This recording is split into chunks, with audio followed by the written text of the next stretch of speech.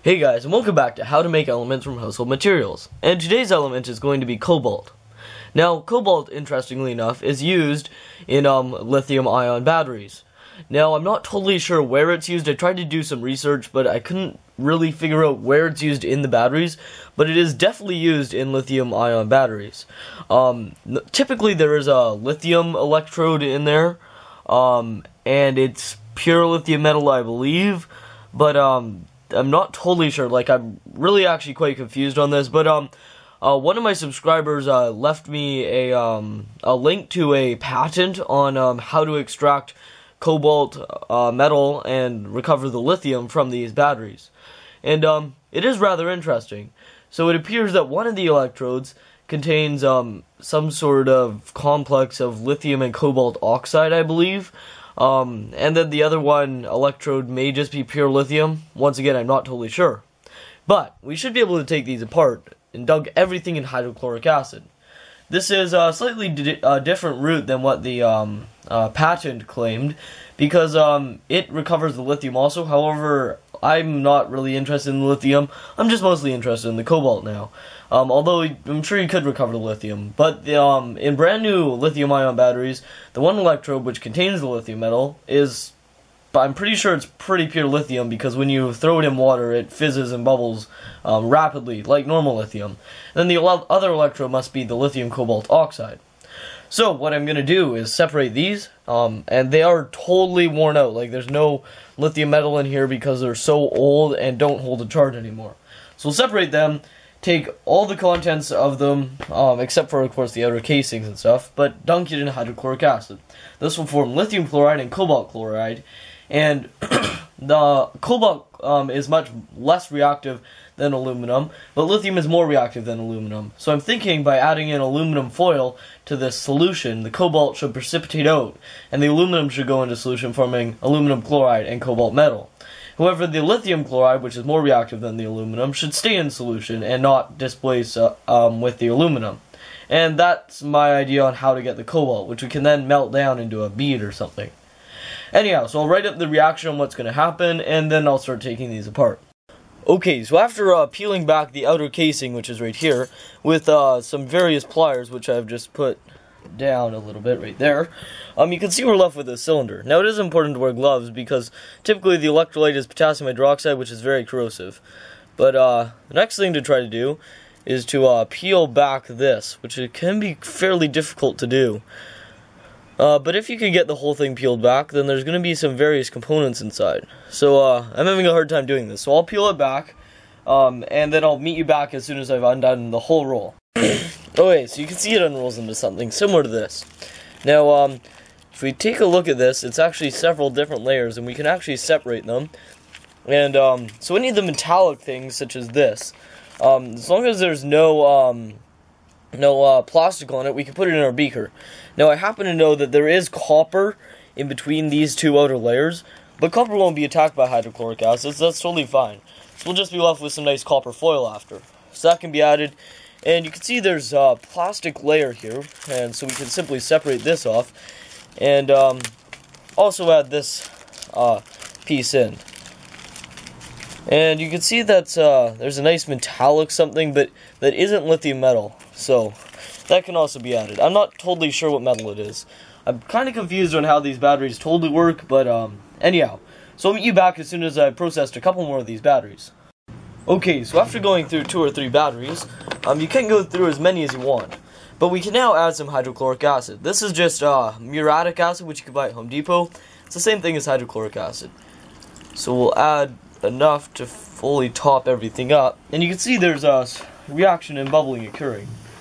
So, to not inhale the fumes, but now we should be generating the um, reaction which is shown right here below.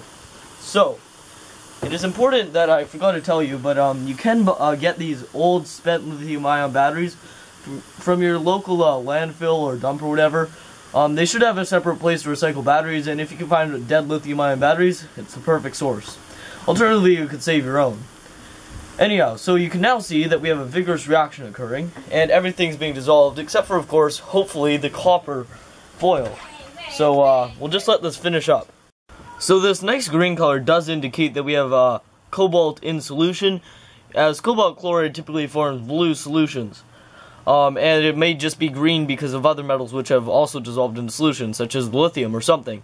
Um, but a color change such as this does clearly indicate that hopefully we have uh, cobalt in solution. So you can see that uh, the reaction below was just what we did. Lithium cobalt oxide plus 2 hydrochloric acid, or 2 HCl, gives um, lithium chloride, cobalt chloride, and water. So, um, it really, really, like, it really seems like there's a lot of chlorine gas coming off. Not, maybe hydrogen chloride, but it's it smells a lot more like chlorine gas, so I'm not totally sure why. But, um, anyhow, it doesn't really matter because it's just a bit, but it makes taste really bad. I can taste it in the air. Anyhow, we'll let the reaction um, finish up, and then we'll go inside with this. Actually, we'll probably keep it outside. Um, and then I'll show you the next step. Okay, so once the reaction's died down and there's uh, barely any more bubbling, we can now go ahead and scoop out all of the um, unreacted stuff, which is mainly going to be copper metal, and put it in a bag, which I've put over to the side there. And um, you can see the blue color of the solution now. It's very, very blue. This means that there's definitely cobalt. And you can see this is just copper foil, which never reacted. So we're gonna scoop out all the unreacted stuff, put it in there, and then filter it off. So I'll meet you back when that's been done. So um, as I'm filtering, I just wanted to see if you could see the intense blue color. Like this is a very blue solution. There's no longer any green color as before. It's very, very blue. This indicates huge amounts of cobalt in solution, which is a very good sign. So uh, hopefully we have lots of cobalt chloride, and hopefully we can get lots of cobalt. So let uh, finish filtering off everything, and then I'll meet you back. Okay, so I filtered everything off, and it is a very, very, very dark blue color. As you can clearly see. You can see right there, it's very blue.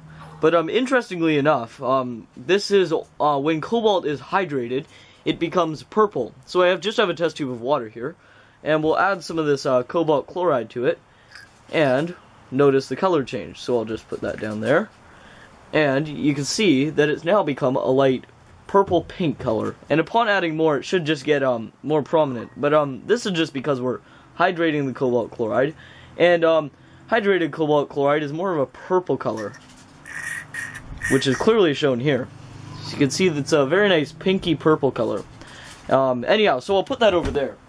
So to reduce this, we should just need um, aluminum powder, or not, uh, sorry, aluminum foil to reduce it. But um, if for some reason it doesn't work, I don't want to waste all of it.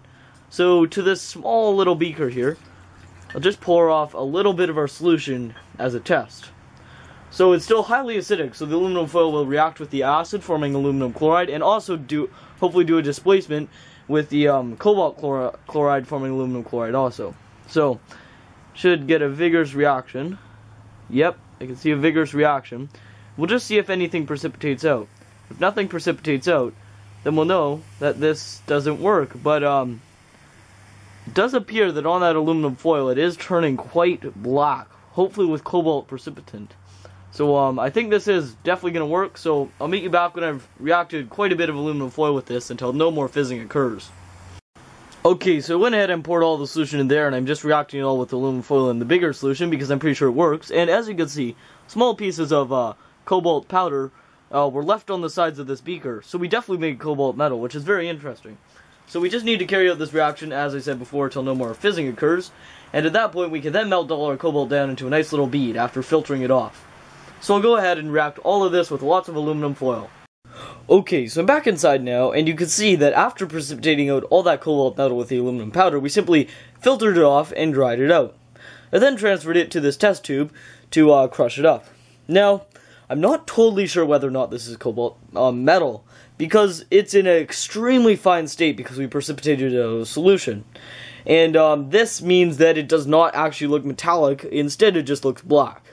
Now, the camera's not picking it up super well, but there is a slight brown color to it. I I'm not totally sure if there is or not, but it almost looks slightly brown, which makes me think that this could perhaps be the, uh, one of the forms of cobalt oxide or multiple forms, because cobalt oxide comes in colors um, depending on the type of oxide, such as green, black, and red.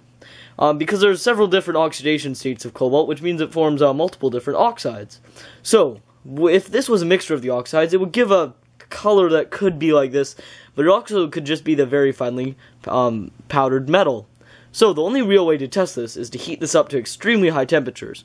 However, um, before we do that, I just wanted to show you that I'm not totally sure whether or not the cobalt oxide or any of the oxides are actually magnetic, but this is clearly magnetic, as this magnet can stick to it and drag the metal along with it.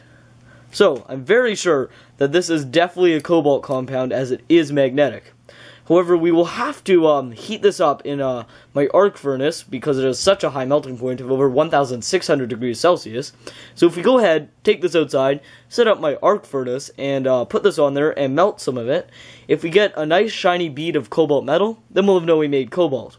If not, this is most likely the oxide, and I do have um, another process planned on how to get this out, which I will try if that does not work. So I'll go ahead, set up my arc furnace outside, and we'll melt down some of this and see if we get any cobalt metal. Okay, so I just set up my arc furnace, and you can see right there we have the uh, test tube of our cobalt compound. I'm not sure if it's actually the powdered metal or if it's the oxide, but um, nonetheless, we'll be melting it. Now, upon adding huge amounts of heat, such as from an arc furnace, um, although you just need about a thousand degrees Celsius, um, if this is cobalt oxide, all the oxides of cobalt will um, convert to the cobalt 2 oxide, CO. This is um, necessary because if we are to reduce this with aluminum later on um, to get our cobalt metal, it should be uh, cobalt oxide, uh, well, cobalt 1 ox or cobalt 2 oxide, sorry, um, and not the other oxides, as cobalt 2 oxide is the most efficient to reduce to the cobalt metal, and will leave us with as few byproducts as possible. But if this is, of course, cobalt metal, then it'll just melt into a nice bead. So pour out a little bit of this, and then melt it, and see what we get. Hopefully we get a little bead of cobalt, and if not, then it'll be cobalt oxide. So we'll determine it this way. So, I'll meet you back as soon as I've started this. Okay, here we go.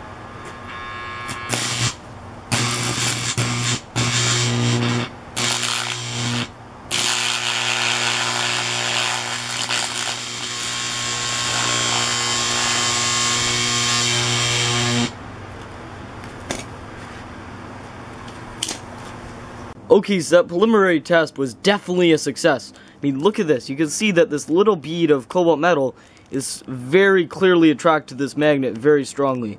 So this is clearly cobalt metal. And uh, there were a few other beads, but they were really tiny, so I just kind of ignored them. But we definitely got cobalt metal. So we'll go ahead, take the rest of that um, powder over there, and melt it down.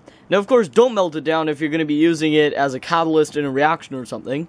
And, of course, leave it as a powder. And I may save some of it as a powder just because um, it is so useful in various different um, reactions. But um, I'm definitely going to melt a bit more of this down so I can get a better element sample.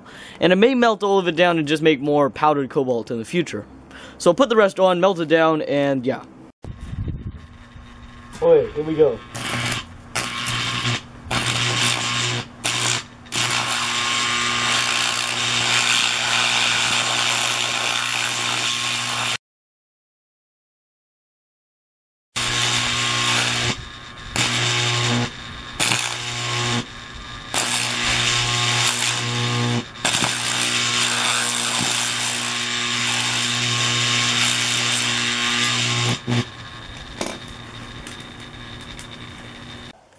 Okay, so as you can see, we were left with um, less than a gram, but almost a gram, of uh, nice cobalt metal ingots, which are very attractive to this magnet. So um, that was clearly cobalt powder that we had there, and not the oxide as I had first assumed. So, that is essentially how to extract the cobalt me uh, metal from uh, lithium-ion batteries, and we got uh, just under a gram from about uh, two batteries. So uh, not an amazing amount of cobalt, but definitely plausible to uh, get cobalt from there. And that powder could be used in several different um, syntheses, um, syntheses, I guess. Anyhow, so I'll go ahead and put this in an ampule and put it in my element collection. So that's basically how to make cobalt metal. Um, I hope you guys enjoyed. Wait, bye. As a final note, it is important to note that cobalt chloride can be carcinogenic, um, and it has been found to be carcinogenic um, um, and cause cancer. So it's very dangerous. We must be careful with cobalt chloride. So that waste solution that we have must be dealt with properly. Um, it was a nice deep purple after, which means there's probably still definitely some cobalt chloride in it that I couldn't get to precipitate out. Anything that is um, contaminated with the cobalt, cobalt um, compounds must be disposed of and rinsed and cleaned properly and have that water disposed of and not dumped down the drain as it could seriously harm various creatures. Anyhow, okay, bye.